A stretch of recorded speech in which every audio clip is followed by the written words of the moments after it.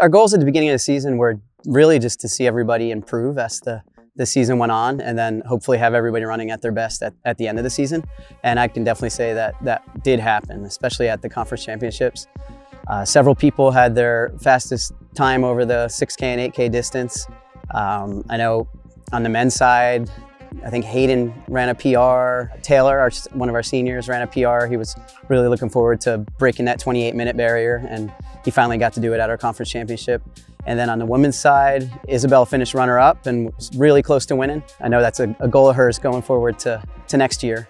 And then on, on the women's, on the men's and the women's side to finish, we finished ninth on both sides and that was kind of our goal to finish right kind of in the middle of the conference because all 18 schools compete at, in the cross country championships. Yeah, so Isabelle's had a unique season. She actually was injured at the beginning of the year and did not run a race until the week before MACs. So she actually didn't start running on the ground until the first week of October. And she just cross trained a ton. She's put a ton of work in, in the pool and on the bike and doing as much as two hours to two and a half hours a day of cross training. And all that definitely has paid off because we've seen a big improvement from week to week. I was all excited to start the season. Coming into August, we were really getting a lot of training in, hard work, like my highest mileage per week. And then I started having this injury and this pain. So it turns out I had to stop running for four weeks. And then I slowly started up again in the beginning of October, but it turns out I wasn't able to run every day. So Coach Berdan and I came up with a plan to cross train as much as possible. So that means hitting the pool, hitting the bike, walking, something that's not as high impact for like two to two and a half hours a day every day. And I had my first official workout the week before MACs. So that was exciting. And being able to come second at MACs was really, really awesome.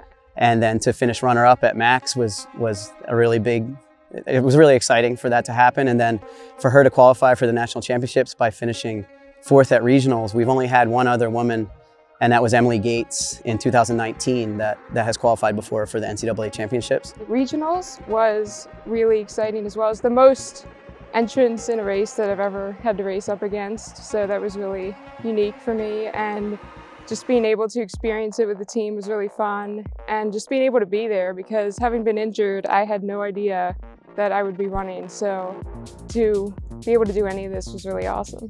And again, going forward, um, this year for Isabelle, it's all about gaining the experience of what it's like at nationals and hopefully um, top 40 is all American in cross country. So that's kind of a, kind of a goal right now. But this year, again, like I said, it's it's more about gaining that experience of competing at the national level. I think I'm just gonna have to do what I know what to do. Just get out there. It's gonna be a really packed field and really stacked. So there's a lot of really talented runners there as well. But I know that if I just do what I've been training these past few months and I just keep using what I know, then I'll be fine if I can just get out there and hold my place. Yeah, so we're really going to miss our seniors next year. On the men's side, we lose Taylor and we lose Jake, and they've both been great leaders and just really hard workers. So we're going to look to some of the other underclassmen to step up next year and kind of take over those reins and, and help with the, the incoming freshmen going forward. And on the women's side, we lose Miriam and we lose Lauren, and it, it's going to be, again, great leaders, going to be really hard to to fill those spots, but we have some great underclassmen that I think are going to step up and, and fill in that role.